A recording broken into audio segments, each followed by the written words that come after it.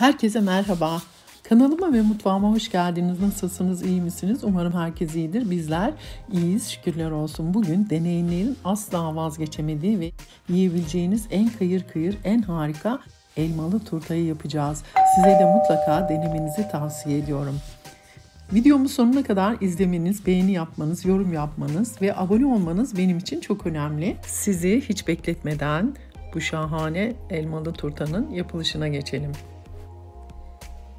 4 adet elmayı güzelce yıkayıp soyduktan sonra rendenin iri tarafından geçirelim.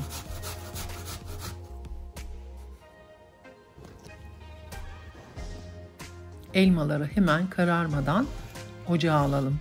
Orta bir tavaya 3 kaşık yemek kaşığıyla 3 kaşık şeker ilave edelim ve orta ateşte bir 5 dakika kavuralım.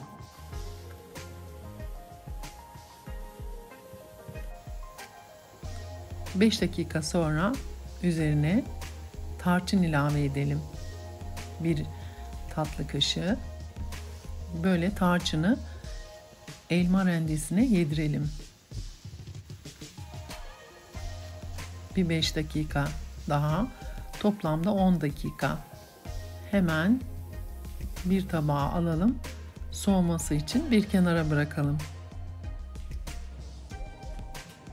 Derin bir kaba 2 bardak un alalım.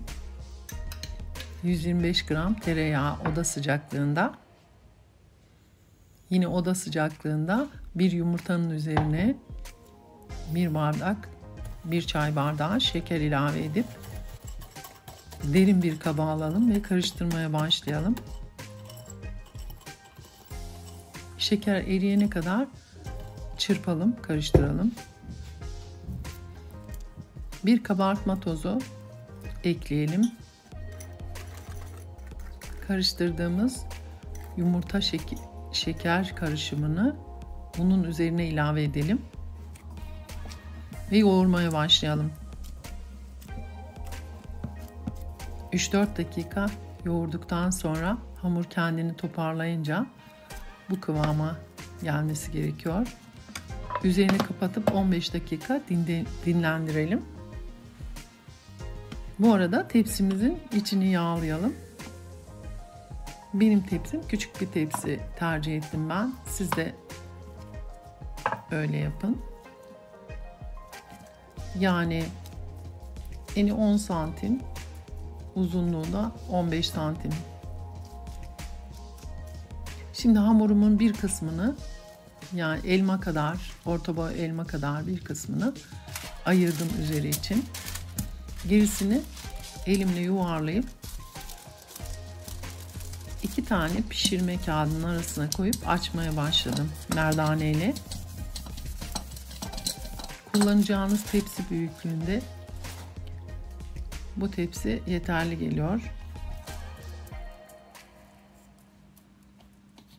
Kenarlarından biraz alalım. Şimdi e, altında fırın kağıdı var. Fırın kağıdının kenarlarını da keselim arkadaşlar.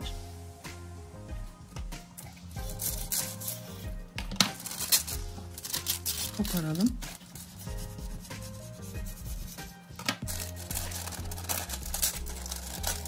Tepsimizi ters olarak yerleştirelim. Bu şekilde ters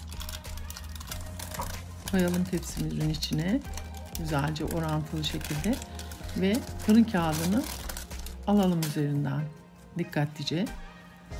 Kenarlarını, köşesini güzelce ayarlayalım, düzeltelim.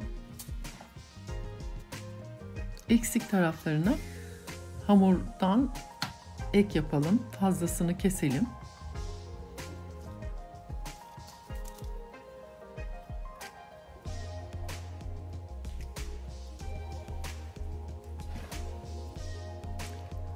Böyle düzeltelim.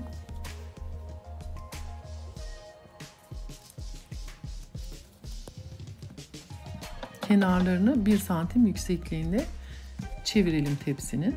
Bu şekilde güzel oldu. Şimdi daha önceden hazırladığımız elmalı harcımızı üzerine dikkatli bir şekilde yayalım. Her tarafına eşit şekilde gelecek şekilde yayalım. Şimdi ayırdığımız una yarım bardak mısır nişastası ilave edelim. Ve bunu biraz yoğuralım. Çünkü rendeleyeceğiz. Sert olması lazım. Bakın. Sertleşti. Birleştirelim. Bu şekilde rendeden geçirelim.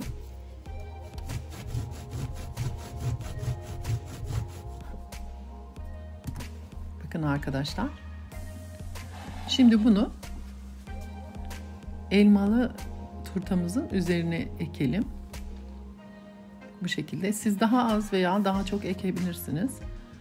Bu normal oldu. Bakın. Harika oldu. 170 derece fırında kızarıncaya kadar altı üstü pişirelim. Bakın pişti. Çok güzel oldu. Soğuduktan sonra üzerine pudra şekeri ekelim ve servis yapalım. Arkadaşlar seyrettiğiniz için teşekkür ederim. Eğer beğendiyseniz beğenme butonuna basmayı, kanalıma abone değilseniz abone olmayı unutmayın lütfen. Sağlıkla, sevgiyle kalın, hoşça kalın.